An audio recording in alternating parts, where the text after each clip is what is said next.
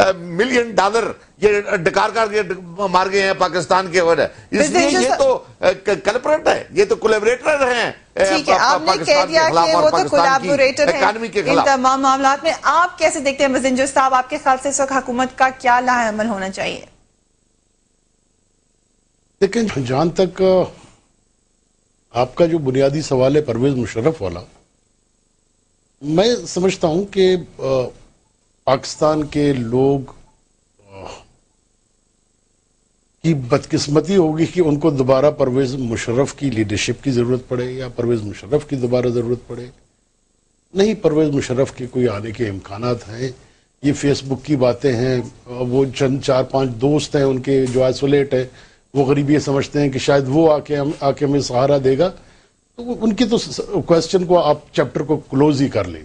देखिए, जहाँ तक बात बनती है पीपल्स पार्टी की जैसे कहते हैं जी गार्ड ऑफ़ ऑनर लेके चला गया। देखिए, परवेज मुशर्रफ न कभी कोई चीज़ था, न उसकी कोई हैसियत है। That was a Pakistan army वो पाकिस्तान आर्मी का चीफ था। इसीलिए उसमें गुंजाइश थी कि वो इसने टेक ओवर किया। वो जब यहाँ से रुखसत हुआ, तब भी उस पर जो छतरी थी, वो पाकिस्तान आर्मी की थी। उस इंस्टीट्यूशन की थी। उस इंस्टीट्यूशन का बाहर का आदमी अगर ये कर, हरकतें करके कर, कर रहा होता तो उसके तो चितरे उठ, उठ चुके होते।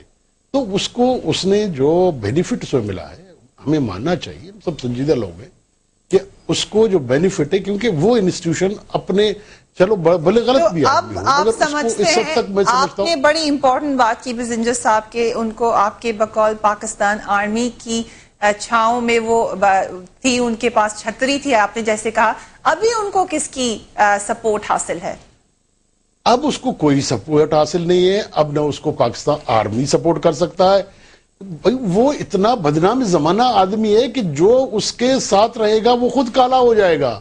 वो तो इतनी काली चीज़ बन गई है कोई पॉलिटिकल आदमी उसके साथ नहीं जाएगा न कोई फौज उसके साथ देगा न कोई बाहर के मुल्क उसका साथ दे, साथ देगा।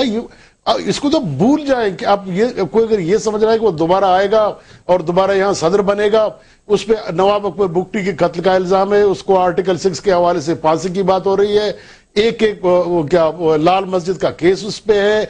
अब यहाँ तक कि अमेरिकन भी ओपनली कह रहे हैं कि वो हम लोगों से भी झूठ बोल रहा था वो हम लोगों से भी डबलिंग कर रहा था। ये जो तो डबल गेम वाला मामला इससे मैं आप- हुमायूं साहब से एक कमेंट लेना चाहूँगी। एज अ पॉलिटिकल एनालिस्ट जो डबल गेम एक्सपोज करने का कहा जाता है आपके ख्याल से उसमें पाकिस्तान पीपल्स पार्टी का कितना हिस्सा रहा है? कौन सी डबल एक इल्ज़ाम लगाया जाता है कि पाकिस्तान पीपल्स पार्टी के थ्रू परवेज मुशर्रफ की डबल गेम एक्सपोज हुई इंटरनेशनल वर्ल्ड को।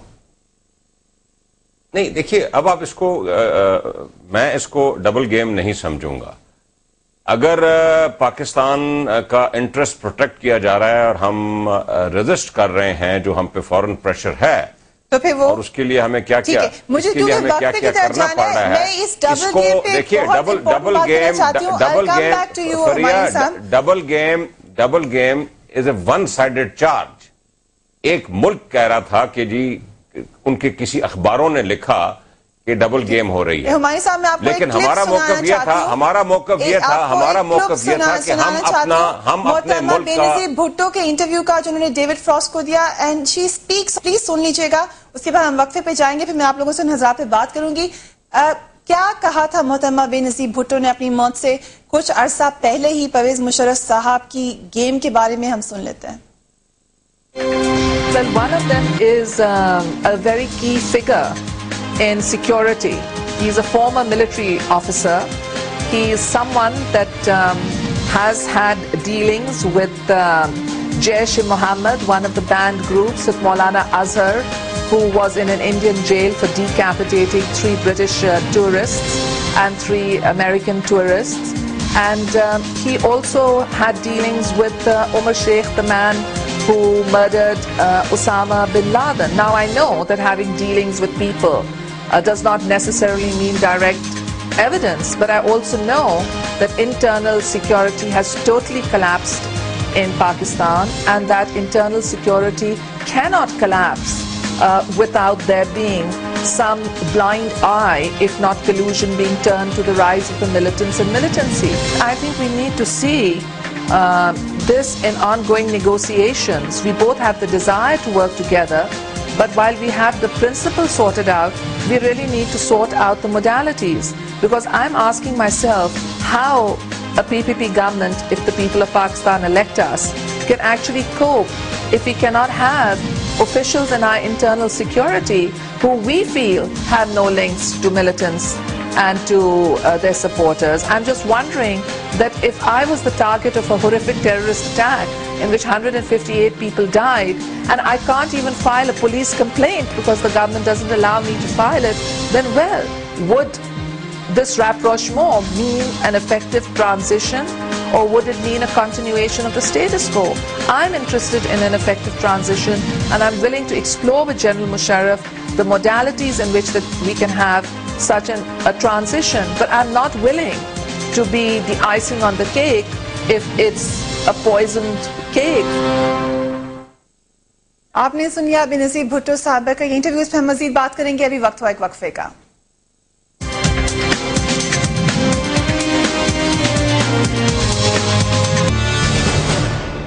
हम बात कर रहे हैं परवेज मुशरफ साहब की उस पॉलिटिकल पार्टी की, जिसका कहा जा रहा है कि अब वो निकात करेंगे।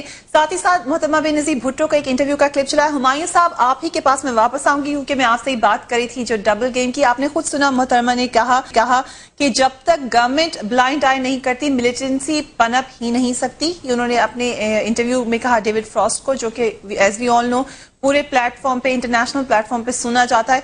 उसके साथ साथ उन्होंने इसी इंटरव्यू में दोबारा एक बात कही थी जो कि इस क्लिप में नहीं थी जिसमें उन्होंने कहा I refuse to be the icing on the cake if the cake is poisonous she called At that time, Pakistan a poisonous cake full of militancy where the government had a blind eye. उन्होंने बड़ा openly इस double game को expose किया था। देखिए जी ये मुझे अफसोस है कि हमें अपने मुल्क की और अपने एजेंसीज की बातें इंटरनेशनल फोरम्स में इस तरह हरगिज नहीं करनी चाहिए। वाज तौर पे पाकिस्तान का जो व्यू था कि हमें जो तालिबान हैं, इनसे बातचीत का सिलसिला शुरू करना चाहिए। ये व्यू अब इंटरनेशनल कम्युनिटी ने नेटो ने अमेरिका ने अडॉप्ट किया है। और और वो बातचीत करने को तैयार हैं। अफ़गानिस्तान की करजाई साहब भी बातचीत कर रहे हैं। पाकिस्तान का व्यू जो थ्रू आउट रहा है इस रीजन में, वो आखिर में प्रिवेल किया है। और दुनिया को ये पता चल गया है कि पाकिस्तान के बगैर इस खत्ते में अमन हासिल नहीं किया जा सकेगा। इसलिए मैं इन बातों में नहीं जाना चाहता कि पाकिस्तान की कौन सी एजेंसी क्या कर रही थी। पाकिस्तान की हर एजेंसी जो है, वो पाकिस्तान के इंटरेस्ट के लिए ऑपरेट करती है, वो दूसरे ममालिक के इंटरेस्ट के लिए ऑपरेट नहीं करती। ठीक है, आपने बड़ा क्लियरली उस बात को कह दिया। बिजिंजर साहब, आप इस बात को किस तरीके से देखते हैं? देखिए जी मैं तो कोई मतलब दलाल की ज़रूरत नहीं है क्योंकि खुद आज ओबामा ने नई पॉलिसी का ऐलान किया उसके बाद उसके जितने नुमाइंदे आए उन इस, इस बात को पब्लिकली कहा गया। हमने नहीं कहा अमेरिकन ने भी ये बात कोट की है दूसरे लीडरान ने भी कोट की है कि मुशे अमेरिकन के साथ कुछ और बात कर रहा होता था अमली तौर पे कुछ दूसरा कर रहा होता था। लेकिन साहब अगर इस तरह की बात करने से पाकिस्तान का फ़ायदा था तो आप किसकी सपोर्ट करेंगे? मैं नहीं समझता हूँ कि कहीं झूठ बोलने से पाकिस्तान को फ़ायदा मिल सकता है। अगर आप किसी से गलत काम कर रहे हैं गलत बुनियादियों पे कोई चीज़ है उसका एक मुल्क को कैसे फ़ायदा हो सकता है? कि मसला आज अमेरिकन ने कहा कि जी वो हम मतलब हमारी राय, मैं, मेरी राय बिल्कुल मुख्तलिफ़ है। मैं कहता हूँ, वो डबल गेम अमेरिका के साथ भी कर रहा था, वो डबल गेम सबके साथ कर रहा था। उसको सिर्फ़ और सिर्फ़ यहाँ पे इकतदार चाहिए था, वो ज़्यादा से ज़्यादा अरसे इकदार में रहना चाहता था। उसका सारा डबल गेम अपनी जात के लिए था, परवेज मुशरफ के इकतदार के लिए था, वो किसी कौम के लिए, किसी मकसद के लिए नहीं था।